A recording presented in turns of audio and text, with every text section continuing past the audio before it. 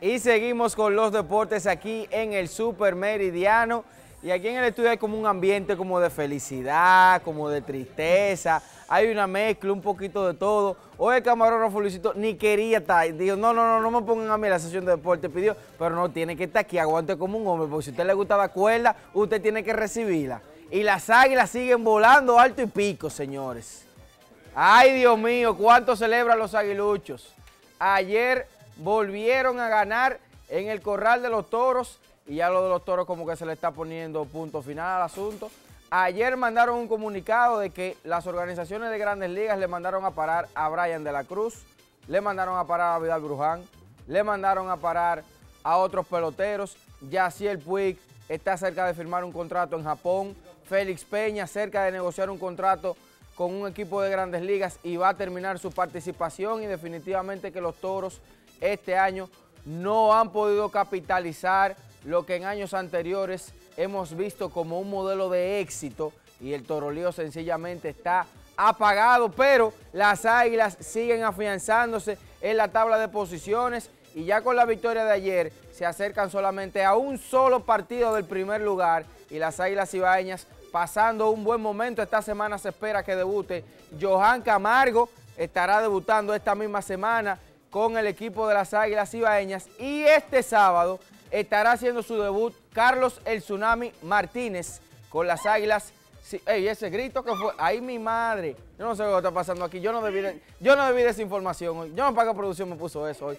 Ay, Dios mío, las Águilas ganaron ayer frente a los Toros del Este. También los Gigantes le ganaron un tremendo partido a las Estrellas Orientales que viniendo de atrás los Gigantes pudieron entonces capitalizar esa importante victoria, lo que acercaría, ahí está Marcelo Zuna, quien estaba preparado en el Joplay sacando un matazo de flag profundo, tiene cita con el consulado, sí señores, le dieron visa esa pelota y se queda como líder absoluto en este momento del el departamento de cuadrangulares con cuatro en un ratico demostrando que ese bate es definitivamente Grandes Ligas, Grandes Ligas, ahí estaba la selfie que se toma Marcelo Zuna luego de conectar un cuadrangular y los gigantes están apretando más el asunto en la tabla de posiciones. Y el partido que Luisito no quería que yo hablara, él no quería que yo hablara de este partido, pero aguante, aguante, tiene que aguantar.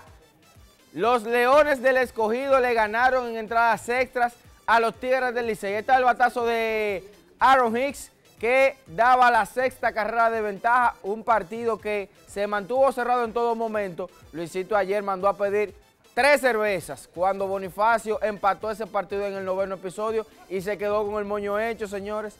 Se quedó con el moño hecho porque ni se comió la cena. Se trasnochó y perdió. Entonces vino aburrido para acá. Él vino aburrido hoy a de quitarse con los muchachos del supermeridiano, pero no aguante, aguante, porque definitivamente, no, falta mucho más, falta mucho más, falta, mucho más. Aquí no, falta, no me limite, aquí no me limite, porque si usted, usted liceísta, aguante callado, usted también. El cogidista también, ah, no, pues estaba celebrando. Seis carreras por tres le ganó el equipo de los Leones del Escogido a los Tigres del Licey. Dame lo que pasó completo ayer para que la gente sepa en un resumen rápido. 5 por 4 los gigantes le ganaron a las estrellas orientales, 6 a 3 los leones a los tigres y 2 por 1 las águilas a los toros del este en la jornada de ayer. ¿Qué va a pasar en el día de hoy? ¿Qué tenemos para hoy? Los gigantes visitan a, a los leones en el Coloso del Ensanche a la Fe a las 7 y 15. Toque de queda en Santiago, otra vez. Tigres del Licey contra Águilas Ibaeñas en Santiago. El último juego dramáticamente lo ganaron los aguiluchos a las 7.30 en el Estadio Cibao y los Toros que no le han ganado un solo juego a las estrellas este año, estarán en el corral recibiendo a los paquidermos ese partido a las 7.30 en el Francisco Micheli de la ciudad de La Romana. Señores, hoy salió una información muy preocupante. Atención, Alfredo. Los Tigres del Licey, según el portal ESPN Digital y algunas entrevistas que le hicieron a ex empleados, han acusado a los Tigres del Licey de racismo, han acusado a los Tigres del Licey de descontrol en las oficinas e incluso se habla hasta de acoso sexual en las oficinas de los Tigres y eso lleva bomba, director, eso lleva, bomba, lleva bomba, eso. no, pues no me la dé la bomba. Fernando Tatis Jr., un accidente bregando con un motor. Él no fue al Juego de Leyendas, fue la mayor ausencia definitivamente del domingo en el Día de Leyendas. se había dicho que por unos temas de salud, pero salió a la luz la información de que estaba encaramado en un motor, pegando brinco y tuvo una leve lesión. No hay nada de gravedad, no hay una lesión de preocupación, pero el hombre andaba encaramado en unos motores y tuvo una pequeña lesión, por lo cual no pudo participar de las actividades del día de leyendas este domingo en el Estadio Quisqueya. Vamos a pasar a NBA, señores, porque ayer LeBron James y los fanáticos del Rey estuvieron durmiendo contentos. LeBron anotó más de 30 puntos en el día de ayer en el partido donde los Boston Celtics, y, y ahí estábamos viendo al número 6, el negrito de Ohio, donde ayer frente a sus archirrivales, los Boston Celtics, ayer el Rey, señores, estuvo luciendo bastante bien y mucha gente decía, volvieron los Lakers, porque ayer jugaron el mejor baloncesto probable de este 2021, donde, repetimos, LeBron James estuvo anotando más de 30 puntos en el día de ayer, Russell Westbrook también jugando para en favor de su equipo, ahí estábamos viendo acciones del partido donde, repetimos, los Lakers pudieron conseguir la victoria